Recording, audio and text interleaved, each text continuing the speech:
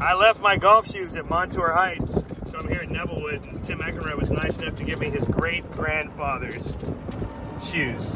What do you think of that, Roberts? I think they're nice. I mean, uh, if you oil them up a little bit, it will, uh, it will help with all the cracking that's going on. Maybe uh, Yeah. out for the next guy. It is unbelievable. But you know what, man? When you forget your golf shoes, that's what you get. That's what you get. That's hey, what- whose fault's that? Mine or yours? Beautiful day at Nevillewood.